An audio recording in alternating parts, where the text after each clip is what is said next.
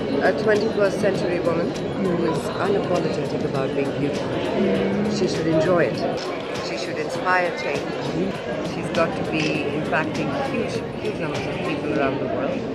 And she has to forget that she is from, for example, the Philippines. And she has to become a universal presence, someone who has equal empathy and love for the rest of the world.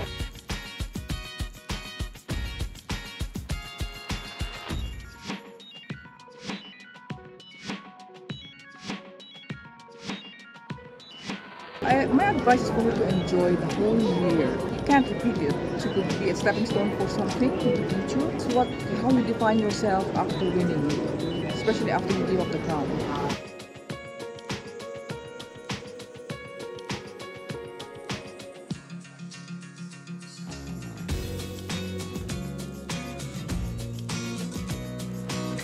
It was a big surprise. Uh, every step, every step was a surprise, and I wanted to cry at every step. I'm very proud, and I feel blessed. Really, I, I feel blessed.